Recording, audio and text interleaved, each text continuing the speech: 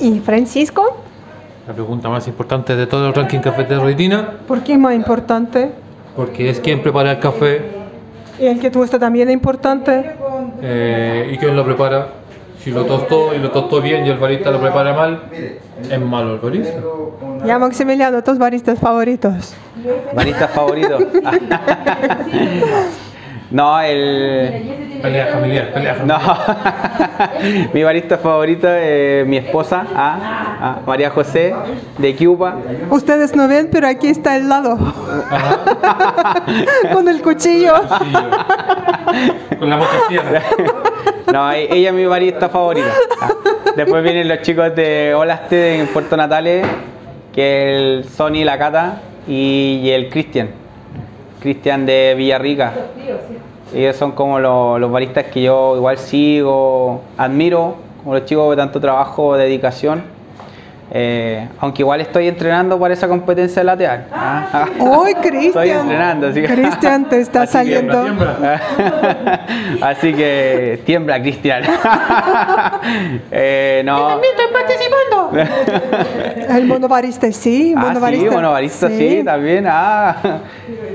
Así que no, ahí vamos a seguir preparando, practicando y para ver si podemos llegar. Pero la idea es llegar. Ah, así que. Pero.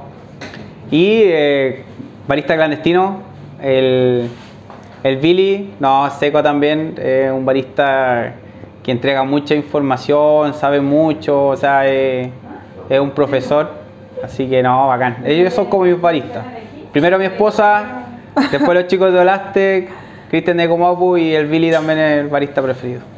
Lo más importante es mencionar esposa. Ajá. Si Sí, se olvida sí. alguien más, y es como. Ya fue. Ya, Francisco, ¿Qué pasó? tus palabras de agradecimiento a Maximiliano. Muchísimas gracias Maximiliano por No, tu aporte nada. para nuestro ranking Muchas gracias a ustedes por visitarnos y por venir acá a esta humilde cafetería. ¿ah? Que, hacemos, hermosa. hacemos todo con cariño y de verdad que nuestros clientes lo saben.